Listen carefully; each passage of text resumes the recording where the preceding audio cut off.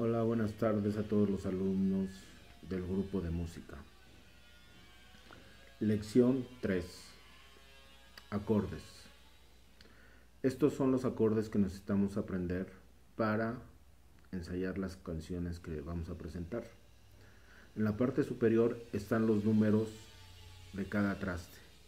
Del lado izquierdo están los números de cada cuerda y los números que están en el diapasón son indican los números de cada dedo.